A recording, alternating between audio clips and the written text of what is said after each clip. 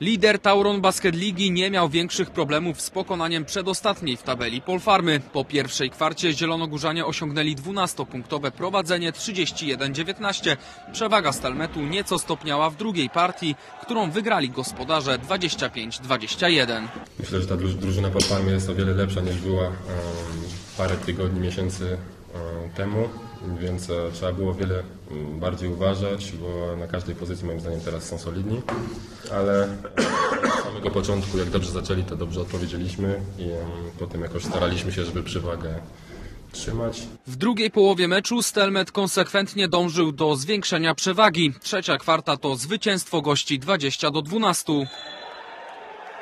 Ostatniej części meczu zielonogórzanie pokonali miejscowych 28-19 i przypieczętowali 17 wygraną w sezonie. Jeśli się przegrywa, to trzeba potrafić przegrać z honorem. E, e, Jeśli, jeśli ktoś e, ma na tyle energii, żeby pchać, walczyć, masować się pod koszem, to lepiej jakby to zrobił na przykład w pierwszej czy w drugiej kwarcie, a nie w momencie, kiedy przegrywamy 20 punktami.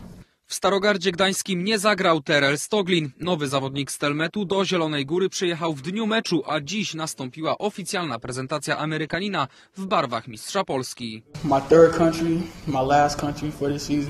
To mój trzeci zespół w tym sezonie. Jestem tu, aby zwyciężać i cieszę się, że Stelmet mi zaufał. Zrobię wszystko, co mogę, aby zdobycie mistrzostwa stało się możliwe.